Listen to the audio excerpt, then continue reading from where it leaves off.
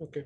So our next derivation is that now we will try to find out the electric field intensity due to an infinitely long thin plane sheet. मान लीजिए हमारे पास एक कोई seat है ठीक है तो उस सीट की वजह से किसी आर सेपरेशन पर किसी आर सेपरेशन पर हमें इलेक्ट्रिक फ़ील्ड डिटरमाइन करनी है okay so we will see that what would be the amount of net electric field at a separation of r considering that we have distributed complete charge on this plate ठीक है? तो यहाँ पर आपको क्या लगता है हम सिग्मा का यूज़ करेंगे? फाइनल आंसर लैमडा में छोड़ेंगे सिग्मा में? टू डायमेंशनल फिगर अगर है तो। सिग्मा बिल्कुल सही। सिग्मा ओके यस सिग्मा में हम यूज़ करेंगे। तो मान लेते हैं कि हमारे पास इस तरह की कोई चार्ज प्लेट है जिस पर चार्ज डेंसिटी है सिग्मा ठीक है? And we need to apply Gauss law to determine the net electric field at a separation of R from this particular point लेकिन इस बार जो इलेक्ट्रिक फ़ील्ड होंगी, वो किस तरफ़ निकलेंगी? वो दोनों प्लेट के दोनों तरफ़ बाहर की तरफ़ होंगी। पॉजिटिवली प्लेट है ना? तो इस तरह से प्लेट अगर रखी है तो दोनों प्लेट से बाहर की तरफ़ इलेक्ट्रिक फ़ील्ड लाइन निकलेंगी। ऊपर की तरफ़ कोई इलेक्ट्रिक फ़ील्ड लाइन नहीं जाएगी, क्योंकि काफ़ी ज़्यादा थिन है ठीक है? तो इलेक्ट्रिक फ़ील्ड किस तरफ़ जाएगी? दोनों से बाहर की तरफ़, इस तरफ़। अब अगेन मैं यहाँ पर एक सिमेट्रिकल सरफेस लूँगा गोजन सरफेस हमने एक स्मॉल पोर्शन में ये सरफेस एरिया ले लिया है सरफेस ले लिया है अगेन गोजन सरफेस ठीक है? तो लेट इसकी जो, ये जो गोजन सरफेस है, ये किसी एक पॉइंट पी से जा रहा होगा। अगेन हम यहाँ पर तीन सरफेसेस लेंगे ए बी और सी ठीक है? अब पहले वो देख लेते हैं कि किससे कितना एंगल बनेगा। तो अगर यहाँ पर आप कर्व सरफेस देख रहे हो तो इलेक्ट्रिक फ़ील्ड ऊपर की तरफ़ तो नहीं है, लेकिन जो एरिया वेक्टर है सी वाले की वजह से ये ऊपर की तरफ़ है और इलेक्ट्रिक फ़ील्ड अगर मैं इधर देख रहा हूँ तो इस तरफ़ आएगी। अगर मैं इस तरफ़ देख रहा हूँ तो बाहर की तरफ़ जाएगी। दोनों तरफ़, बाहर की तरफ़ इलेक्ट्रिक फ़ील्ड होगी। तो कर्व सरफेस के लिए जो एंगल होगा नॉर्मल वेक्टर और इलेक्ट्रिक फ़ील्ड में, ये कितना हो जाएगा? 90 अगर मैं इधर वाले एरिया की वेक्टर की बात कर रहा हूँ तो ये ज़ीरो डिग्री एंगल बनाएगा इलेक्ट्रिक फ़ील्ड से, ठीक है? और अगर मैं अपोजिट साइड पर देख रहा हूँ, यानी कि उस तरफ़ तो यहाँ पर भी इलेक्ट्रिक फ़ील्ड ऐसे है और नॉर्मल वेक्टर हमेशा बाहर की तरफ़ ही होता है। तो वो एंगल कितना हो जाएगा? ज़ीरो डिग्री यानी कि दोनों सरफेस से जो हमारे प्लेन सरफेस है उनसे एंगल कितना बन रहा है? ज़ीरो डिग्री ठीक है? और जो कर्व सरफेस है this time it is making an angle of 90 degree तो जो भी इलेक्ट्रिक फ्लक्स आपको मिलेगा, वो सिर्फ़ दो सरफेस की वजह से आपको मिलेगा। कौन कौन से वजह से? एक तो ये सरफेस है और एक ये वाला सरफेस है। यानी कि ए और बी सरफेस की वजह से, क्योंकि ये तो 90 हो गया, खत्म हो जाएगा। अब देखिए, जो इलेक्ट्रिक फ़ील्ड है that is symmetrical on both the sides and you can see that this surface area ये जो surface area Gaussian surface area ये भी बराबर ही होगा दोनों तरफ़। तो हम क्या कर रहे हैं, इन दोनों को हमने लिख लिया टू ई डी एस ठीक है? Two E D S because both are equal and now what we will put that DS का जो कंप्लीट एरिया आएगा, वो क्या आएगा? पाई आर स्क्वायर मतलब plain area pi R square ठीक है? So this is the electric flux due to the electric field ठीक है? टू ई इंटू में पाई आर स्क्वायर और इसको मैं किसके बराबर पुट करूँगा? चार्ज अपॉन एप्सिलॉन नोट के according to Gauss law the net flux will be equal to Q by epsilon naught लेकिन मैं चार्ज को सिग्मा के टर्म में अगर लिखना चाहता हूँ तो कैसे लिखूं? Sigma into sigma into A area और एरिया कितना आ जाएगा? Pi R square curve surface area of that surface जिसको हमने, जिससे हमने लिया है pi R square upon upon epsilon naught तो अगेन यहाँ से आप देखोगे कि पाई आर स्क्वायर तो कैंसिल आउट हो ही जाएगा। तो जो नेट इलेक्ट्रिक फ़ील्ड है, वो कितनी मिलेगी? नेट इलेक्ट्रिक फ़ील्ड आप यहाँ पर देख पाओगे अब। देखो टू इंटू में ई इंटू में पाई आर स्क्वायर बराबर है sigma into pi R square upon epsilon naught के। तो पाई आर स्क्वायर तो कैंसिल आउट हो गया। तो इलेक्ट्रिक फ़ील्ड हमारी कितनी आ गई? Sigma upon twice epsilon naught ठीक है? So this is the electric field due to the thin plane sheet on either side आप इधर देखो या इधर देखो इलेक्ट्रिक फ़ील्ड कितनी आएगी?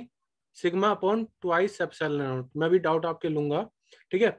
और दिस टाइम ये हमारा फ़र्स्ट टाइम है, अभी तक हमने इलेक्ट्रिक फ़ील्ड काफ़ी ज़्यादा देखी पॉइंट चार्ज की डाइपोल की, उसके बाद हमने देखा एक स्ट्रेट वायर के लिए। बट यहाँ पर ये हमारा पहला केस है जहाँ पर इलेक्ट्रिक फ़ील्ड सेपरेशन आर पर डिपेंड ही नहीं कर रही। It is constant if you are moving away from the charge ठीक है? तो sigma upon twice epsilon naught electric field रहेगी, जिसको हम वेक्टर फॉर्म में आई कैप लिख सकते हैं मतलब बाहर की तरफ़ है। और अगर अगर यहाँ पर आपको प्लॉट करना पड़ जाए electric field versus separation R का तो एक फिक्स रेंज तक जो ग्राफ होगा इलेक्ट्रिक फ़ील्ड और वर्सेस आर में, कैसा होगा ऐसा? मतलब it will be this line will be parallel to R axis okay because electric field is constant it doesn't depend on r now okay so this is the electric field due to a thin plane sheet on either side it is equal to sigma upon twice epsilon अगर positive plate है तो बाहर की तरफ़ electric field line जाएँगी अगर negative plate है तो अंदर की तरफ़ इलेक्ट्रिक फ़ील्ड लाइन आएँगी अब आप जो भी डाउट है डेरिवेशन में पूछ लीजिए ये कंप्लीट डेरिवेशन था आपका electric field due to a thin कह रहे सर बस दो मिनट दे दीजिए लिख के एक बार फिर वापस हाँ हाँ बिल्कुल बिल्कुल। आप डाउट पूछिए लिखिए इसको।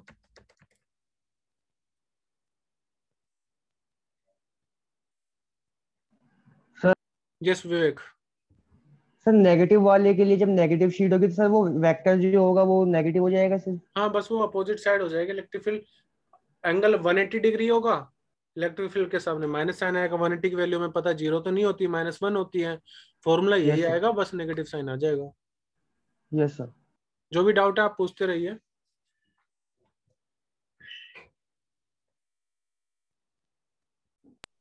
सर वेक्टर फॉर्म में हमारा कौन सी ये आई कैप है? ये रिप्रेजेंट कर रहा है कि बस रेडियली आउटवर्ड है। मतलब रेडियली नहीं बाहर की तरफ़ है। सीट अगर ये तो आई कैप इधर या इधर भी हो सकता है। बट बाहर की तरफ़ होगा बस डायरेक्टली आप इतना लिख लीजिए। वो तो प्लेट हम कैसे भी रख सकते हैं ऐसे भी रख सकते हैं ऐसे भी रख सकते हैं ऐसे भी रख सकते हैं। शीट में पर ये भी डिपेंड करेगा कि पॉइंट या फिर चार्ज जो है वो हम्म, कितनी दूरी पर है वो हर जगह सेम रहेगा। कांस्टेंट रहेगी थ्रू आउट द बॉडी लेकिन वायर में डिपेंड करेगा। वायर में चेंज करती है डिक्रीज करती है वायर में। हालाँकि ऐसा नहीं कि अगर मैं एक प्लेट को दिल्ली दिल्ली में रखा हुआ और मैं उसको गाजियाबाद से ऑब्ज़र्व कर रहा हूँ तो इलेक्ट्रिक फ़ील्ड उसकी मिलेगी, ऐसा भी नहीं भी है। तो एक फिक्स रेंज तक हमें कुछ ना कुछ इलेक्ट्रिक फ़ील्ड मिलती रहेगी। But in case of wire वो तुरंत डिक्रीज हो जाती है इलेक्ट्रिक फ़ील्ड प्लेट के लिए ऐसा नहीं होगा। It will remain constant through a valid distance और वो वैलिड डिस्टेंस डिपेंड करता है कि कितनी बड़ी आपकी सीट है और कितना ज़्यादा चार्ज आपने दिया हुआ है। कोई और doubt so this was the complete derivation हाँ ये नोट में सेकंड पैराग्राफ ओके एक्सप्लेन करता हूँ। ये तब के लिए अगर मान लीजिए अगर आपकी सीट काफ़ी ज़्यादा थिक हो जाए ठीक है? मान लीजिए थिक कर देता हूँ पहले मैं इसको। मान लीजिए एक बुक ही है बुक में दोनों तरफ़ आप चार्ज कर रहे हो चार्ज दिया हुआ है। सो उसमें क्या होगा कि जो चार्ज है, वो दोनों तरफ़ अवेलेबल होगा, इस तरफ़ भी और इस तरफ़ भी, ठीक है? दोनों तरफ़ चार्ज अवेलेबल होगा तो जो भी आपकी इलेक्ट्रिक फ़ील्ड अभी आई है, उसमें बस आप टू से मल्टीप्लाई कर दो मतलब चार्ज डेंसिटी अब डबल हो जाएगी इस वाली प्लेट जैसे अभी तो सिर्फ़ हमारे पास ये वाली प्लेट थी। इसी को अगर मैं थिक कर देता हूँ थिक कर दिया तो जो चार्ज है, वो इस तरफ़ वाला भी कंसिडर कर लेंगे और इस तरफ़ वाले भी। दो दो सरफेस आप इसको इमेजिन करो। ठीक है टू साइडेड पर हमारा चार्ज रहेगा। तो उस टाइम में जो भी आपकी इलेक्ट्रिक फ़ील्ड अभी आ रही थी, उसकी डबल हो जाएगी, क्योंकि सिग्मा डबल हो गया है। तो आपकी इलेक्ट्रिक फ़ील्ड कितनी बचेगी खाली? सिग्मा पॉन एप्सिलॉन नॉट तो अगर क्वेश्चन में, वैसे बहुत कम बोला होता है सीबीएसई में तो अगर बोला भी हुआ है थिक प्लेट तब सिग्मा पॉन एप्सिलॉन नॉट नहीं तो इन जनरल सिर्फ़ हम sigma upon twice epsilon naught ही लेते हैं मोस्टली क्वेश्चन में। जब तक थिक ना बोले, तब तक मत यूज़ करो सिग्मा पॉन एप्सिलॉन नॉट अगर डायरेक्टली बोला कि हमारे पास सीट है तो सिग्मा पड़ेगा। पॉन ट्वाइस एप्सिलॉन नॉट क्या बोलो? कितनी थे क्या उससे फ़र्क तो नहीं पड़ेगा। नो नो नो नो बस थिक वो वर्ड बोलेगा वो। Okay sir ji Vivek ji. Sir thick मतलब आप तो सर मतलब मान रहे हैं कि सर प्लेट को सर दो को रख दिया मतलब दो प्लेट हो गई है। अब सर उसमें तो हाइट मतलब एक तरीके से सर हाइट कह सकते हैं वो इंक्रीज हो रही है ना। हाइट नहीं बेटा हाइट नहीं। देखो इस तरह की प्लेट है और हम किसी आर सेपरेशन पर इलेक्ट्रिक फ़ील्ड निकाल रहे हैं ठीक है? किसी भी साइड पर। तो अब हमारे पास दो सरफेस है जिस पर चार्ज अवेलेबल है। इधर भी और इधर भी। इससे पहले तो थिन थी। थिन मतलब बहुत ज़्यादा थिन तो एक तरह से एक ही सरफेस ऐसा है जिस पर चार्ज है। तो हाइट हाइट कैसे चेंज हुआ? हाइट तो कुछ चेंज नहीं आ रहा है। बस वो मोटी हो गई है ठीक है? जो प्लेट है। ताकि चार्ज हम दोनों प्लेट पर उसको डिस्ट्रीब्यूट कर सके। विवेक हाइट से कोई मतलब दो प्लेट है सर वो दो प्लेट है। हाँ दो कह लो या फिर थिक कह लो। थिक को आप देखो अगर मान लीजिए आपको आपके पास एक पेज है तो आप उसको आप उसको और ज़्यादा पतला नहीं कर सकते without using any any specific method लेकिन अगर आपके पास एक मोटा कागज़ है तो आप उसको दो पार्ट में डिवाइड कर सकते हो ना तो ये ऐसी तरह से है। थिक सीट होगी तो उसको हम कंसिडर करें कि it is like double face sir. तो इलेक्ट्रिक फ़ील्ड हमारी डबल हो जाएगी but it will be equal to sigma upon epsilon naught that time okay Okay, sir. So in this class, we have uh, we have proved the electric field due to a plane sheet, which is which doesn't depend on the on the separation from the electric field. And uh, I hope you have drawn this diagram also, the graph E versus R, in which E doesn't depend on R. The formula रहेगा sigma upon twice epsilon naught.